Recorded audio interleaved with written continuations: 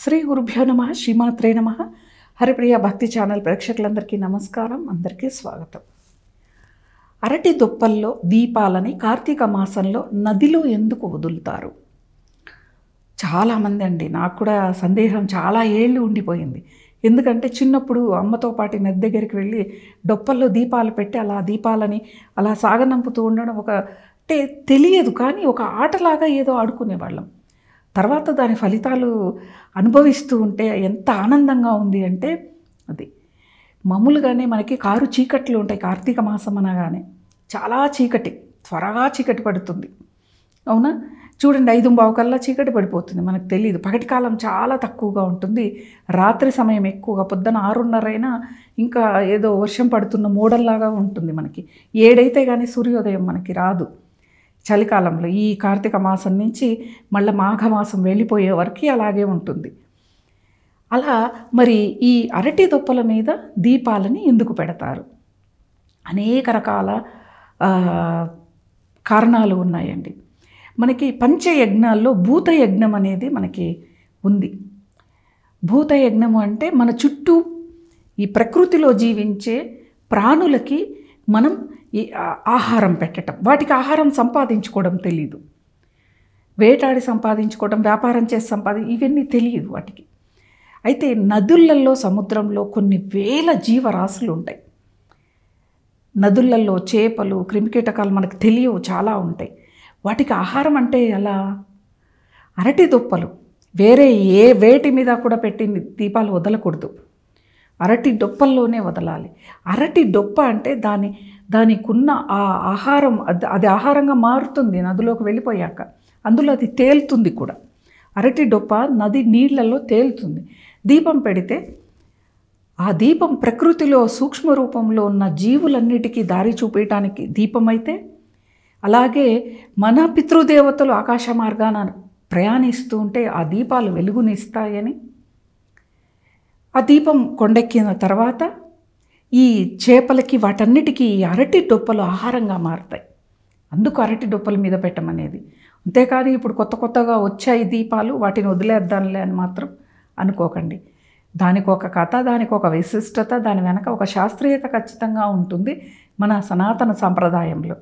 అందుకే నదుల మీద డొప్పలల్లో వదులుతారనమాట కొంత దూరం వెళ్ళే వరకు అవి వదిలి పెడుతూ ఉంటారు. అవునా? కానీ మనకి నదులు అన్ని దగ్గరగా లేవు ఊళ్ళకి వెళ్ళే అవకాశం లేదు అనుకున్న వాళ్ళు ఈ డొప్పల్లో దీపాలు పెట్టి ఎక్కడ వదలాలి. అంటే ఏం లేదు. ఇప్పుడు అందరి ఇళ్ళలో ఇంత పెద్ద పెద్ద డబ్ టబ్బులు ఉంటాయి ప్లాస్టిక్వి. దాని నిండా నీళ్ళు పోయండి. నీళ్ళు పోసి చిన్న అరటి డొప్పలు తెచ్చుకోండి. అమ్ముతూ ఉంటారు కదా. అరటి డొప్ప తెచ్చుకొని శుభ్రం చేసి పసుపు కుంకని ఇటుపక్క అటుపక్క పెట్టి ఒత్తులని వేయండి. వేసి వెలిగించి ఆ నీళ్ళల్లో వేసి ఇలా ఇలా తిప్పండి. తప్పదు మనకి. వేరే పరిష్కారం లేదు. వెళ్ళే అవకాశం లేని వాళ్ళకి వేరే పరిష్కారం లేదు. అలా మనము దీపాలను వెలిగించుకొని అవి కొండెక్కుతాయి. మరుసటి రోజు ఆ అరటి డొప్పల్ని ఆ శుభ్రం చేసి ఆవులు వచ్చాయి అనుకోండి ఆవులకు పెట్టండి. అవి బాగా నమిలి మింగేస్తాయి. చాలా మంచిది అసలు. అరటి అది అరటి పైన ఉండే అది ఆ డొప్పలు అవన్నీ చాలా చాలా జ్యూస్ వస్తుంది. దానిలోంచి ఇట్లా తుంచుతుంటే కూడా నీళ్ళు కారుతూ ఉంటాయి. అవి చాలా చాలా మంచి చేస్తాయి. పశువులు ఉన్నాయనుకోండి బర్రెలు లాంటివి వాటికి పెట్టండి. అవి బాగా నమిలేస్తాయి వీటిని. అలా భూతయజ్ఞం చేసిన ఫలితం మనకు కార్తీక మాసంలో వస్తుంది. అన్నదానాలు చేస్తాం బెడ్షీట్లు దానం చేస్తాం వస్త్రదానం చేస్తాం దీపదానం చేస్తాం. ఈ కాలువల్లో అంటే పారే నీళ్ళల్లో అండి. ఇప్పుడు సగిలేర్లు ఉంటాయి చిన్న చిన్న కాలువలు ఉంటాయి నదులు ఉంటాయి ఏవైనా పారే నీళ్ళల్లో వదలటం మన యొక్క సాంప్రదాయం. కానీ అందరికీ ఇప్పుడు హైదరాబాద్ లాంటి నగరాల్లో దీపాలు వదలటానికి లేదు అవకాశం. ఎక్కడికి వెళ్ళి వదులుతారు? అందరూ కూడా వాళ్ళ ఊళ్ళకి వెళ్ళో ఏదో ఒక్క రోజైనా కార్తీక మాసంలో ఒక్క సోమవారమైనా నదులలో దీపాలను వదులుదామని వెళ్తూ ఉంటారు. అలా అవకాశం లేని వాళ్ళు ఇలా ఇంట్లోనే చేసుకోండి.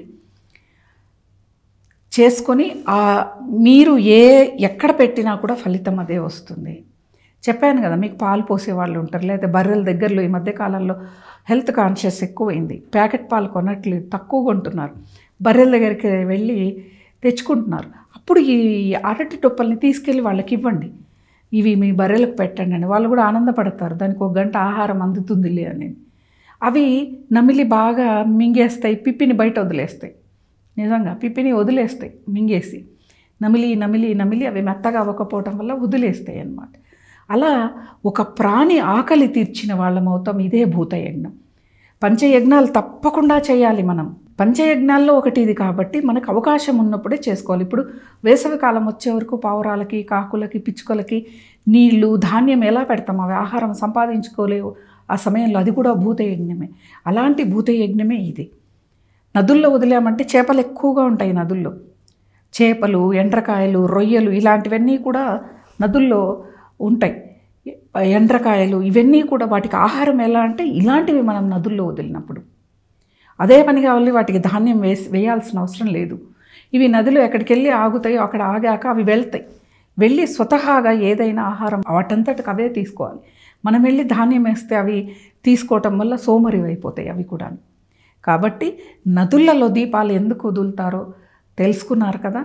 అలా మనం భక్తితో శ్రద్ధతో మన పితృదేవతలకి అలాగే ఎన్నో జలచరాలకి వెలుగును చూపిస్తూ వదిలేదే ఈ కార్తీక మాసంలో నదీ దీపాలను వదలటం. అంటే దీని వెనక పుణ్యము ఉంది ఒక సామాజిక స్పృహ ఉంది. మన నదుల్ని మనం కాపాడుకోవటం. ఎలా? అరటి రొప్పలు నీళ్ళ మీద వెళ్తూ ఉన్నప్పుడు నీళ్ళు పరిశుభ్రమైతూ వెళ్తాయి అవి. అవి మనకే మనమే తాగుతాం. అంటే ఇప్పుడు మనకి కొళాయిల ద్వారా వస్తూ నది నీళ్ళని తెలియట్లేదు. ఒకప్పుడు నది నుంచి నీళ్ళని మోసుకొని వచ్చి వాడుకునేవాళ్ళు. ఇప్పుడు అలాంటి సమస్య ఏం లేదు. అక్కడి నుంచి పైపులు కొడుతున్నారు. ఓఆర్ఎస్ ట్యాంకులలో పెద్ద పెద్ద మున్సిపాలిటీ ట్యాంకులలో స్టోర్ చేసి మనకు వదులుతూ ఉన్నారు. కాబట్టి మనకి నీళ్ళ విలువ తెలియట్లేదు. ఒకప్పుడు కాలంలో నీళ్ళ నిల్వ బాగా తెలిసేది విలువ. నది నుంచి కుండలతో బిందెలతో మోసుకొని వచ్చేవాళ్ళు కాబట్టి చాలా జాగ్రత్తగా కాపాడుకునేవాళ్ళు నీటిని. అలా ప్రతిదీ కూడా ప్రకృతిలో మనం కాపాడుకునే క్రమమే చేయాలి సంరక్షించుకునే క్రమంలోనే మనం ఉండాలి. ప్రకృతి ఆరాధనే కార్తీక మాసం యొక్క ఆరాధన.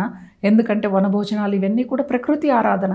ప్రకృతిలో ఏం జరుగుతుంది? ప్రకృతిలో ఎన్ని చెట్లు ఉన్నాయో? అవి ఏం వాయువును వదులుతున్నాయి? అవి వదిలే వాయువు ఆక్సిజన్ని మనం తీసుకుంటూ ఇలా ఉండటమే కార్తీక మాసం యొక్క ప్రత్యేకత అన్నమాట. కాబట్టి మన ఋషులకి ధన్యవాదాలు కృతజ్ఞతలు తెలుపుతూ స్వస్తి.